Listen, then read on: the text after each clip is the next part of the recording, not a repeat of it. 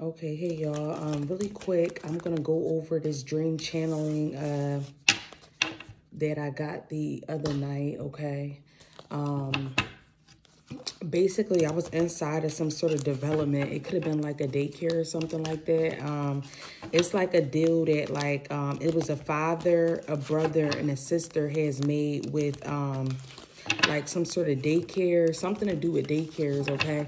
Because I had seen like an older woman and something had something to do with pipes bursting or something like that, like a sink or something like that had completely overflowed or um the pipes had bust. Something had something to do with bust pipes or something like that. See, this is a side hustle.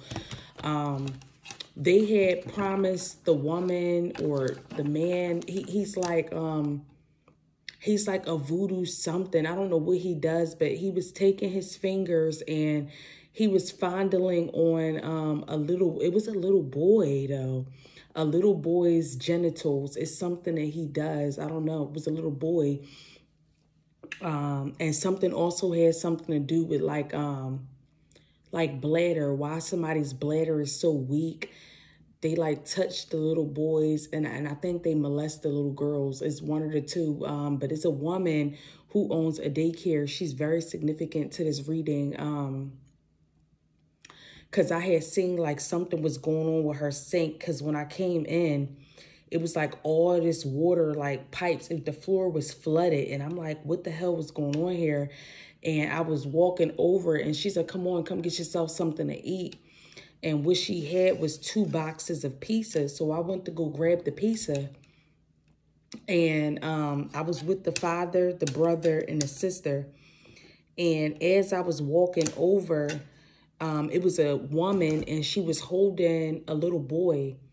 And something significant, he wear, he has like something on his feet. It looks like fur or something like that. Or all I seen is the older man grabbing like the little boy's like genitals and um his wife or somebody came and like grabbed his arm because the lady was like what are you doing? And the wife had grabbed his arm and she said i'm sorry my husband's blind. He, he couldn't see what he was doing or something like that. And i had took the brother and i had grabbed him by his arm and i said come on. And we walked away. So what the father um has been doing is like fondling on children's genitals. Like people bring their children to this father and supposedly this practice that they're supposed to be doing is either supposed to bring the parents blessings or he's telling them that he's anointing um, their genitals from like the world that they was birthed in. It's supposed to be used as like protection for some of you guys. Some of you guys, um, these people have recently brought their babies back to you or towards you after these things have occurred. Like they're trying to get their children cleansed from what this masculine has placed on their children. Okay. Um, for some of you guys, this father is about to go to jail. we got karmic lesson. And then we got Jezebel. I'm telling you, some of you guys, this this all stems from a plot from a feminine. Somebody taught this masculine, um, this practice, because it's like a feminine who's been touching on children for a very long time too. And something got something to do with big names and like some really big people. These practices brought in a lot of fame and fortune for um for certain people. These people are ashamed, and specifically is a divine masculine, but whoever um the father is the son was supposed to it's like the father gotten too old or they're claiming he's blind in the eye or something or that's their defense he's blind in the eye. When he went to go and touch their genitals um he didn't see what he was doing. But in all actuality it was to create some sort of spell love in regards to like these children loving him or these women are supposed to look at this masculine as a certain way from him fondling on these these children's genitals or something like that. But some of this stuff has been going on in daycares okay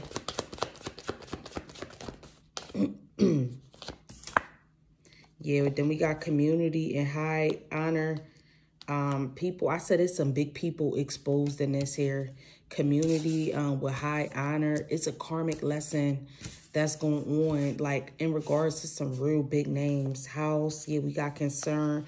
The things that they've obtained. It's an official person who has found out exactly like I'm hearing it's celebrities and stuff like that. It's people that's like mentioning this person's name that they offered these children up into these industries and things of that nature.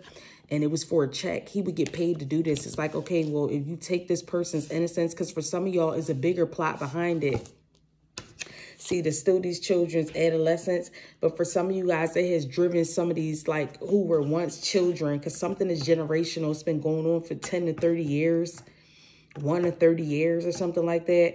It was like whatever this activation was with this person playing with these people's genitals, it was supposed to bring in revenue. It's like, okay, from this, you're going to receive this. But on my end of the deal, I'm going to have these women or I'm going to have these men be sex workers in the community.